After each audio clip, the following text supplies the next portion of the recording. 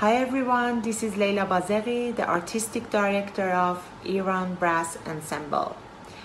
I'm very honored and delighted to be representing the music of my country with some of the best brass players and one of the most honorable Persian singer via the Italian Brass Week.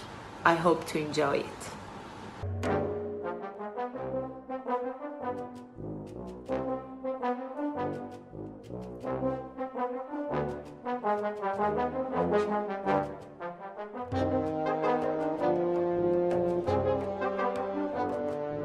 Thank you.